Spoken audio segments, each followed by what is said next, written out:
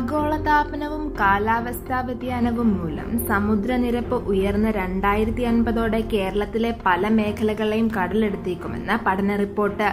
കായൽ സമുദ്രജലം കയറി സംസ്ഥാനത്തെ നാല് ജില്ലകൾ വെള്ളത്തിനടിയിലാകുമെന്നാണ് യു എസ് ആസ്ഥാനമാക്കി പ്രവർത്തിക്കുന്ന ക്ലൈമറ്റ് സെന്റർ എന്ന സ്ഥാപനം നടത്തിയ പഠനത്തിൽ പറയുന്നത്.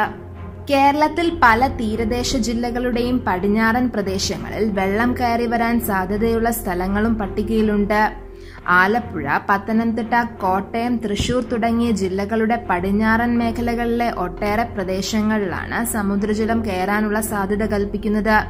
കടലോര ജില്ലകളിലെ താഴ്ന്ന പ്രദേശങ്ങൾക്കും ഭീഷണിയുണ്ട്. മധ്യ കേരളത്തിലെ തീരപ്രദേശമാണ് ഏറ്റവും കൂടുതൽ ഭീഷണി നേരിടുന്നത്. രണ്ടായിരത്തി മുപ്പത്തിയഞ്ചോടെ ഇതിന്റെ സൂചനകൾ കണ്ടു തുടങ്ങിയേക്കുമെന്നാണ് പറയപ്പെടുന്നത്.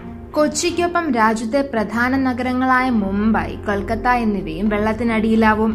ആന്ധ്ര തമിഴ്നാട് ഒഡീഷ ഗുജറാത്ത് സംസ്ഥാനങ്ങളുടെയും ബംഗ്ലാദേശിന്റെ തീരപ്രദേശങ്ങളും ഭീഷണിയിലാണ്. കടലും കായലും പെരുകി മുപ്പത് കിലോമീറ്റർ വരെ അകത്തേക്ക് ഉപ്പുവെള്ളം കയറാൻ സാധ്യതയുണ്ടെന്നുമാണ് ഇത് സംബന്ധിച്ച കമ്പ്യൂട്ടർ മാതൃകകൾ വരച്ചു കാട്ടുന്ന ചിത്രം.